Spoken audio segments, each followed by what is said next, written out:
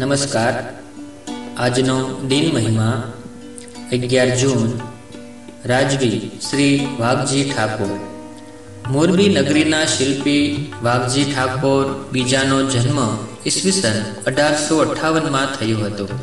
રાજકોટની રાજકુમાર કોલેજમાં શિક્ષણ પ્રાપ્ત કરી યુરોપનો પ્રવાસ પણ કર્યો.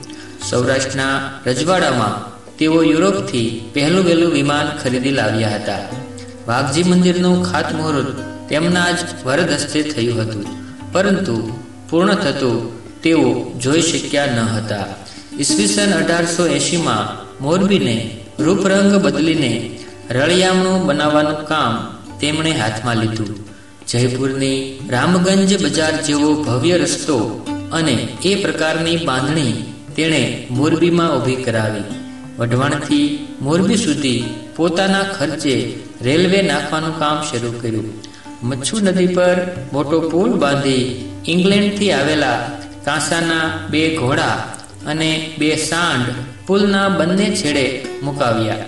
તેમજ ઇંગ્લેન્ડથી સામાન મંગાવી ઝૂલતો પુલ બંધાયો. ગ્રીન ટાવરનું ખાતમુહૂર્ત તેમના જ કાર્યકાળ દરમિયાન થયું હતું.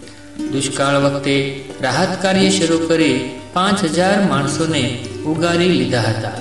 મચ્છુ નદીથી જાનમાલને નુકસાન ન થાય તે માટે બે લાખના ખર્ચે નદી કાંઠે દિવાલ બંધાવી આવા અનેક કાર્યો કરી મોરબીને શણગાર્યું.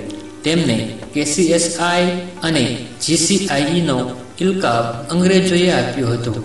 પક્ષઘાતની બીમારીના કારણે તારીખ અગિયાર જૂન ઓગણીસો બાવીસના રોજ તેમનું દેહાવસાન થયું. એ પ્રજાવત્સલ ન્યાયપ્રિય રાજવીનું નજરબાગ પાસે મુકાયેલું બાવલું એમની સ્મૃતિને જીવંત રાખે છે.